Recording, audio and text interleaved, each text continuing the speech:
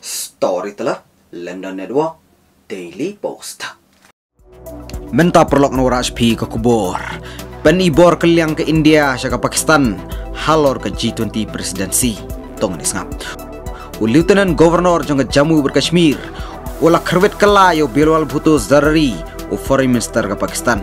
U Manoj Sinha u Lieutenant Governor jong ke Jammu berkashmir. Ule keliang nak kapating e syaka jingkeno jong Bilwal Bhutto Zarari.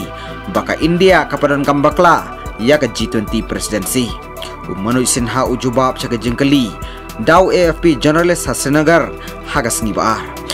U Manoj Sinha u ong ya ke Pakistan ban penlit jingmut halor ki beriu jongka bat penisya ban pendap penbiangi ki jingdon kam bat ya ka di jongki u Pakistan Foreign Minister Bilawal Bhutto Zardari udan ha Pakistan occupy Kashmir ha ka ba u daw ya ka G20 presidency jongka India bat ya ka program papelong ha Srinagar ka China ka lok jongka Pakistan rukumju ka wo daw ya ka India namar ka program ha Kashmir bat ka boycott ya ka jinglang G20 ha Srinagar The Pakistani Foreign Minister, uh, Bilal Bhutto Zardari, has been talking about the G20 working group meeting taking place here again today. He says that India is, and I quote, uh, abusing their presidency of the G20 to push their colonial agenda, but if they think that by holding one event in occupied Kashmir, they can silence the voice of the Kashmiri people, then I believe that they are truly mistaken. He also says, um, one of the most militarized zones in the world can never be seen as normal.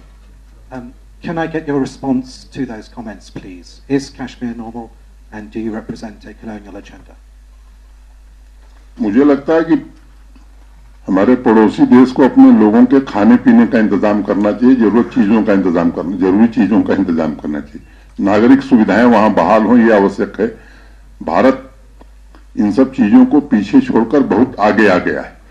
और मुझे लगता है कि G twenty की प्रेसिडेंसी हमारे लिए गर्व का विषय है। और यूनाइटेड नेशंस के ढेर सारे प्रतिनिधि आज यहाँ मौजूद हैं, वो इस बात को दर्शाता है कि पूरी दुनिया चाहती है कि भारत इस तरह के आयोजन करे।